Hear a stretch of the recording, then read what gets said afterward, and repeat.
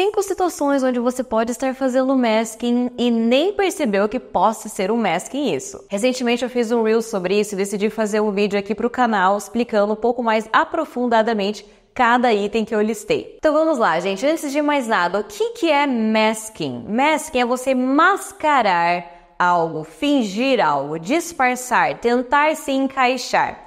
Muitas vezes, é, pessoas autistas que não receberam seu diagnóstico na infância, na adolescência, ou até mesmo os que receberam, elas tentam mascarar alguns comportamentos, ou para disfarçar alguns traços do autismo, ou para tentar se encaixar a determinado grupo.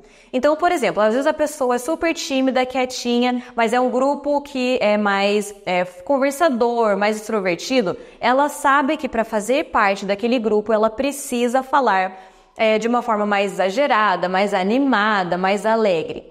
Já com outro grupo, ela sabe que ela precisa disfarçar um pouquinho mais. Então, assim, o masking é uma maneira é, que muitos autistas usam para é, disfarçar. E com as características e exemplos que eu vou citar aqui para vocês hoje, vocês vão entender um pouquinho mais sobre o masking. Então vamos lá para o primeiro item, que é dar risada de algo que você não achou graça. Você tá lá no meio dos seus amigos ou num grupo de pessoas conversando, ou até mesmo numa reunião e as pessoas contam alguma coisa, você vê todo mundo dando risada e você imediatamente só Gente, é exatamente isso, tá? Você não achou graça ou você não entendeu a piada, mas como tá todo mundo rindo, você meio que vai na onda disso. E muito disso acontece porque é mais fácil a gente simplesmente só dar risada igual todo mundo do que ter que explicar para as pessoas que você ou não entendeu o que estão falando, ou que você realmente não achou graça daquilo. Porque às vezes, gente, as pessoas fazem umas piadas assim muito nada a ver. Ou às vezes elas estão falando algo e a gente entende de uma forma muito literal que pra gente não faz sentido aquilo. Aquilo não tem aquela graça ou aquela malícia que as pessoas estão vendo. A gente ouve algo, a gente entende aquilo e ok, processa a informação e ok. E não fica aquela coisa tipo, nossa, é, o que que, o que que teve por trás dessa informação? A gente não vai achar graça daquilo. E um exemplo que eu sempre costumo dar é que eu, particularmente, não consigo achar graça em piadas americanas.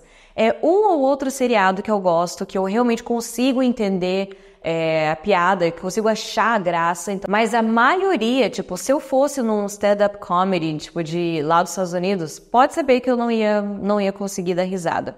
É, ou até mesmo, por exemplo, eu lembro, é, já citei aqui algumas vezes para vocês que eu tenho quase certeza que meu pai é autista, né? E a gente foi em alguns shows, assim, de piada e comédia e tal, aqui no Brasil, e, gente, ele ficou sério o negócio inteiro. Tinha umas piadas que eu achava engraçada, né? No geral, não tanto, mas ele ficava assim, ó. Tipo, por que que eu vim?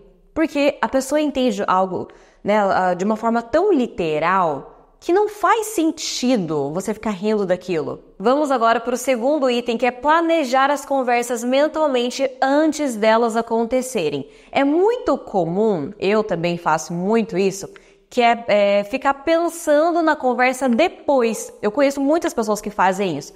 Sabe, tipo, elas conversam com alguém, ou às vezes é uma discussão, ou às vezes algo é, que, sabe, que mexe mais com a gente e a gente fica pensando naquilo, tipo, nossa, eu devia ter dito isso devia ter falado aquilo, por que, que eu não falei aquela coisa? A gente tem mais esse costume de no, né, pensar o depois.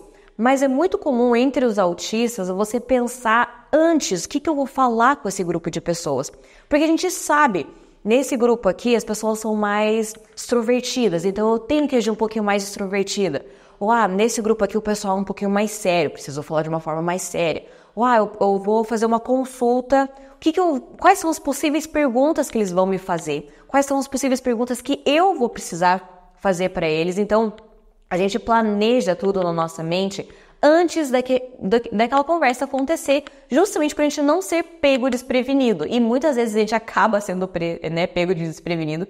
Mas se a gente tem meio que um preparo, assim, um roteirinho antes, a gente já chega com um pouco mais de confiança. Por exemplo, ah, eu vou no elevador hoje, se eu entrar no elevador e tiver alguém, eu posso perguntar isso, posso perguntar, é, posso elogiar alguma coisa da pessoa, ou eu posso falar alguma coisa que está acontecendo ou no condomínio, ou na clínica, ou o que, que a pessoa está achando.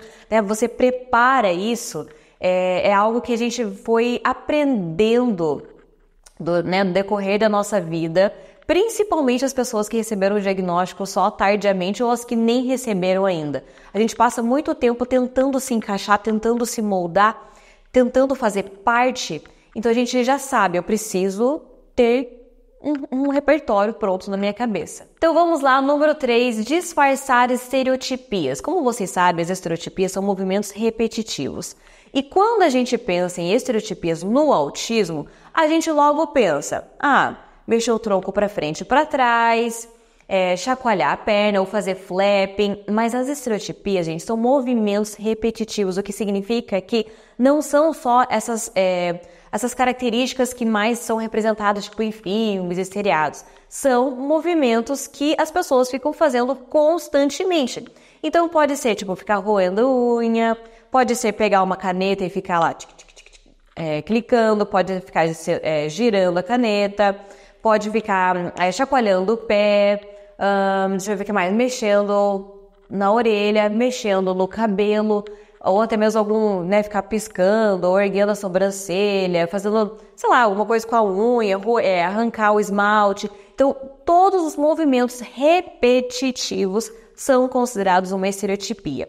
E muitas vezes, gente, é, nós que fomos crescendo, sendo autistas, mas não tendo diagnóstico, a gente via que as pessoas olhavam pra gente com um olhar assim meio tipo, nossa, sério que essa pessoa tá fazendo esse movimento? sabe? Então, é, muitas vezes eu percebi, assim, tipo, depois do meu diagnóstico, que quando eu tô enrolando meu cabelo, fazendo escova, alguma coisa, eu fico me mexendo, fico assim, sabe? Tipo, em, tipo um pêndulo. Eu fico me mexendo, é uma estereotipia. Algo que eu sempre fiz, ficar chacoalhando a perna, é uma estereotipia. Eu sempre gostei de mexer na orelha e ficar, ficar, ficar, ficar mexendo, mexendo, mexendo.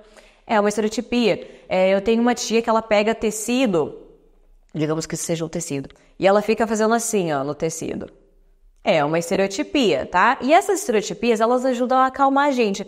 Mas existem as estereotipias assim que são socialmente aceitas, tipo roer unha, ficar mexendo no, na caneta, ou ficar mordendo a caneta. Essas estereotipias são assim mais as pessoas olham e, tipo, não ligam tanto do que se você ficar mexendo os braços ou chacoalhando aqui a perna ou ficar mexendo o tronco para frente e para trás. Então, muitos de nós, a gente foi automaticamente parando ou tentando disfarçar, por mais que a gente ficasse tipo, oi, eu preciso me mexer, eu preciso fazer alguma coisa.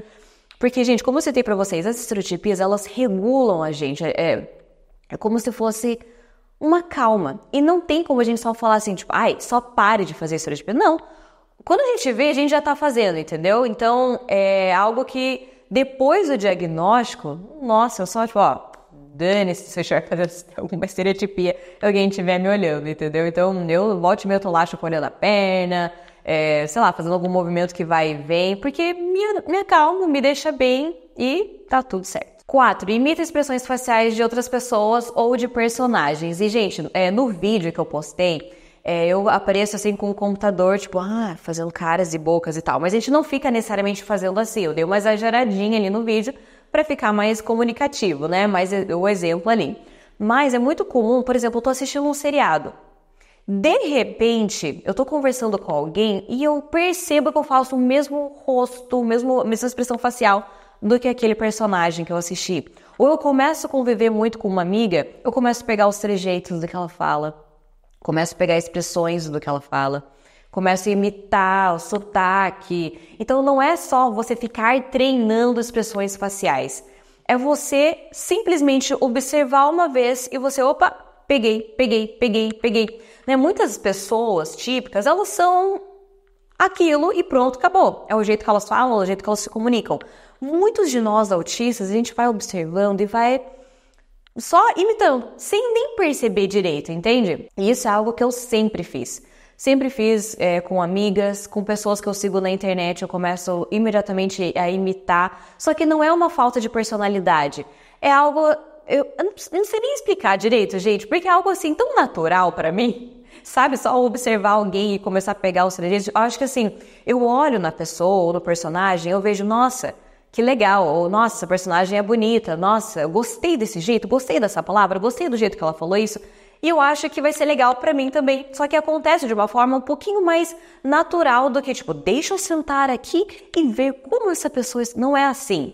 A gente vai. É como se a gente fosse só absorvendo aquilo. E o número 5 e último é a gente se obrigar a olhar nos olhos das pessoas. Durante muitos anos, gente, eu achei que olhar nos olhos das pessoas é, de forma assim, sabe, tipo, forçar a olhar era algo que todo mundo fazia.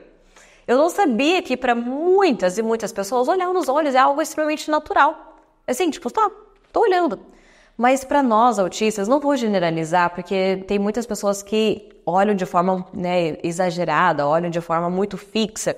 Mas assim, para muitos de nós é, é, incômodo. E eu já ouvi falar que para muitos outros autistas chega a doer fisicamente olhar nos olhos das pessoas.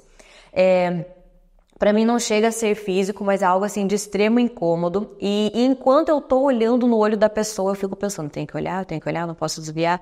Aí se eu desvio, opa, eu preciso olhar de novo. E eu não consigo prestar atenção no que a pessoa falou.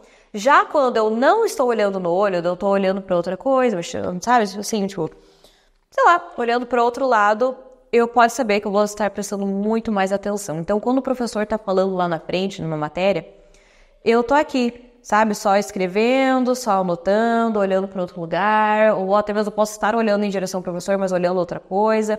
Mas se eu tiver que olhar nitidamente nos olhos do professor ou de quem eu esteja conversando, ai, pode saber que eu vou estar ali me forçando a olhar, tipo, olha, Violet, olha, olha, não desvia, olha. E durante muito tempo também eu, eu achava assim, eu preciso olhar no olho da pessoa, porque se eu não olhar, vai parecer que eu sou uma pessoa que não é confiável que eu sou uma pessoa que mente, que eu estou mentindo com essa minha informação. Então, isso é algo assim, ó, sempre me forcei a olhar. Então é isso, gente. Espero que vocês tenham gostado. Deixa aqui nos comentários e me conta se vocês sabiam que todos esses itens eram considerados como masking. Conta aqui para mim qual desses que você faz e nos vemos nos próximos vídeos. Tchau!